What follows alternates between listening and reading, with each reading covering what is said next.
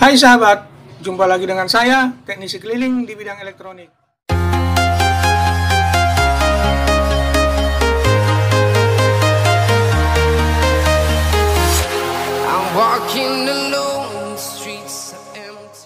Nah, di video kali ini saya akan bertutorial cara membuat genset elektrik yang bisa digunakan di mana saja dan kapan saja.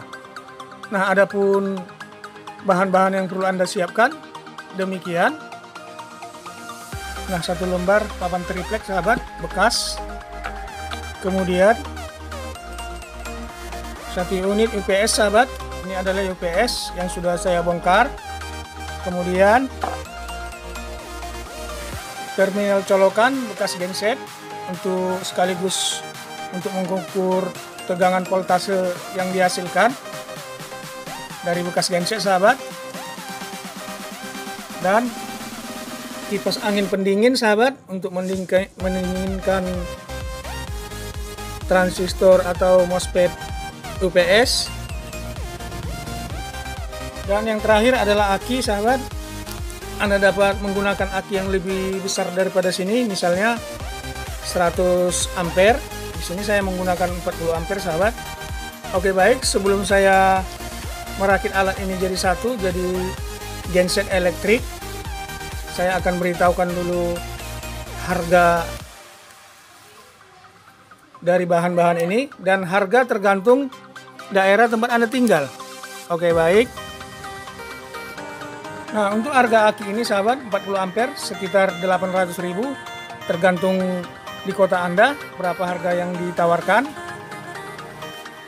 Nah, untuk UPS ini sekitar 400.000 dan juga relatif tergantung harga yang ditawarkan di kota Anda. Kipas pendingin sekitar 45.000. Nah, ini sahabat bekas genset. Jika membeli gensetnya sekitar satu jutaan di sini saya menggunakan bekas saja sahabat. Jadi saya tidak hitung harganya. Oke baik saya akan rakit menjadi satu. Nah terlebih dahulu saya ambil ini sahabat. Saya ber- berdirikan di sini saya mur seperti ini. Anda dapat membuatnya lebih rapi lagi karena ini hanya sebagai tutorial. Nah setelah seperti ini saya ambil kipas pendingin sahabat. Saya satukan di sini seperti ini. Kipas pendingin ini perlu sahabat karena inverter ap- bila menerima beban terlalu besar terlalu kuat maka MOSFET-nya akan panas maka dibutuhkan kipas pendingin. Nah seperti ini. Saya buat seperti ini. Kemudian saya ambil soket dari UPS tersebut sahabat ini. Lalu saya buat di sini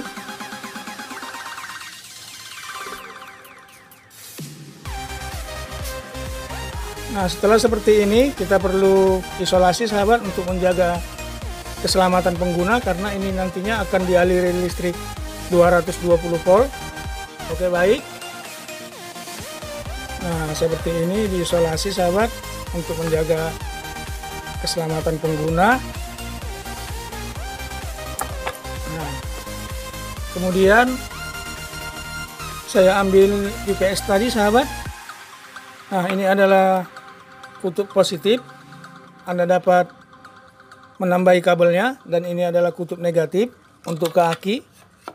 Dan jika Anda menggunakan UPS standar, Anda hanya meng- mengganti baterainya sahabat untuk mencas akinya silakan anda colokkan ke listrik karena UPS yang standar yang yang masih punya box bisa mencas aki sendiri oke baik sahabat saya akan susun kembali nah ini tadi untuk terminal ini sahabat saya colokkan kemari ini ada tempatnya sahabat nah ini ada tempatnya saya zoom dulu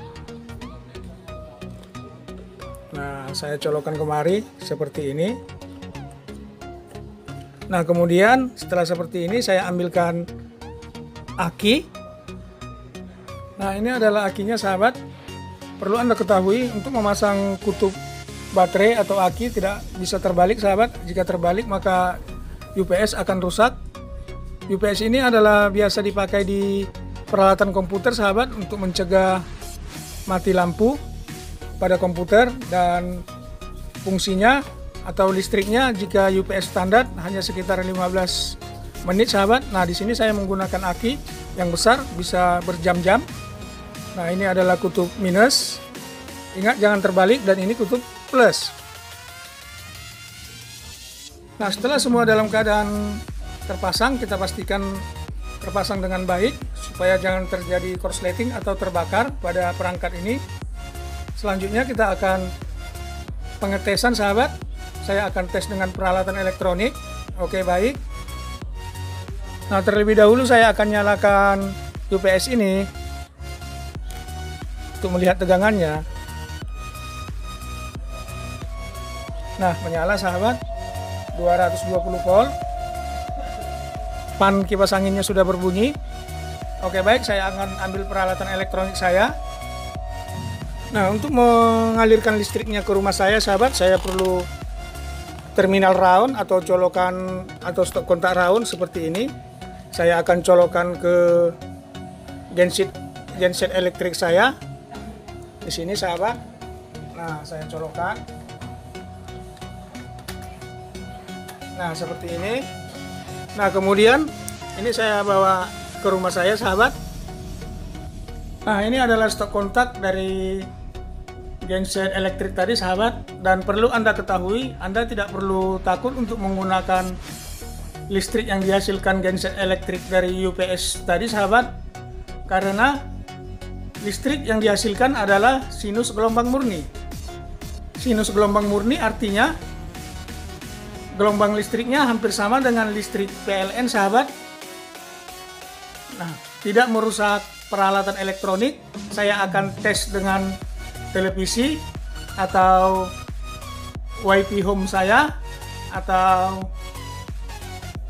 speaker aktif saya dengan menggunakan listrik yang dihasilkan dari genset elektrik tadi.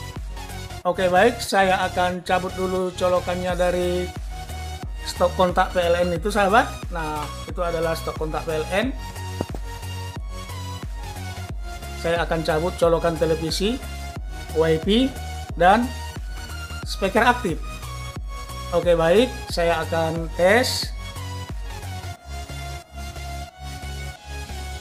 Saya cabut dulu. Wifi home? Mati sahabat televisi. Speaker aktif. Oke baik. Saya akan pasangkan listrik dari genset elektrik tadi sahabat. Saya gantung di sini saja. Nah seperti ini saya colokan terutama wifi saya. Nah menyala. Kemudian televisi. Nah menyala. Dan kemudian speaker aktif. Lalu ada lagi sahabat satu lagi. Nah seperti ini. Mohon maaf kabelnya berserakan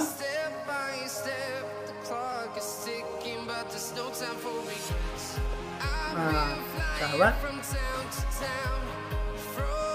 WiFi, speaker aktif, TV, dan alat penguat signal antena. Nah ini sahabat, setelah saya cabut dari stop kontak PLN, lalu saya akan nyalakan televisinya saya nyalakan televisi. Nah televisi menyala.